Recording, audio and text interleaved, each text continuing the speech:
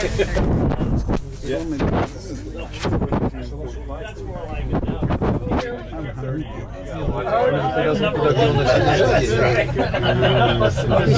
дайте.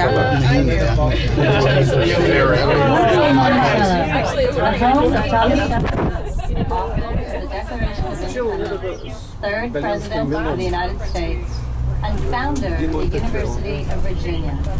Monticello is a National Historic Landmark and the only presidential home in the United States designated as a United Nations World Heritage Site. I'm Leslie Greene Bowman, President of the Thomas Jefferson Foundation, the private nonprofit that owns and operates Monticello. On behalf of all of our staff, trustees, and volunteers, thank you for visiting today. This shuttle's next stop is the mountaintop, where the house and gardens are located.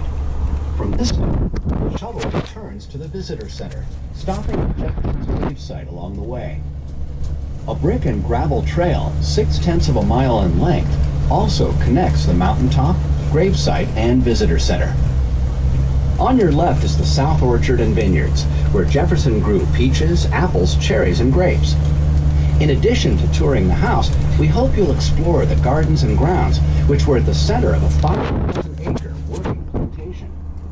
During the regular guided tour of the house, you'll spend about 40 minutes exploring the first floor of Thomas Jefferson's autobiographical masterpiece.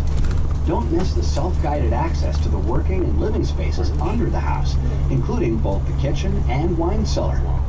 To learn more about all of the things you see and do today, please visit us online at monticello.org.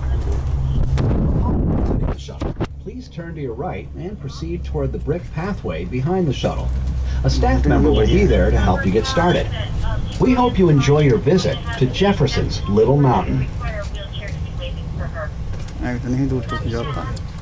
Ladies and gentlemen,